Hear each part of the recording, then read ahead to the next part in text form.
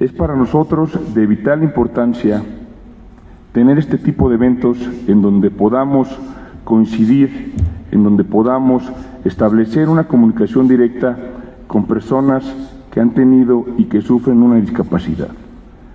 Hoy en día en el país el ser eh, o tener una discapacidad genera un peligro en muchos lugares, genera discriminación.